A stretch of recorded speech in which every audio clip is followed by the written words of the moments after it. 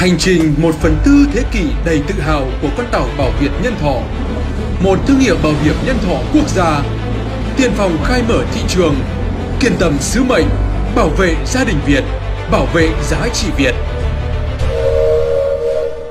Hệ thống 76 công ty thành viên vững chắc trên 63 tỉnh thành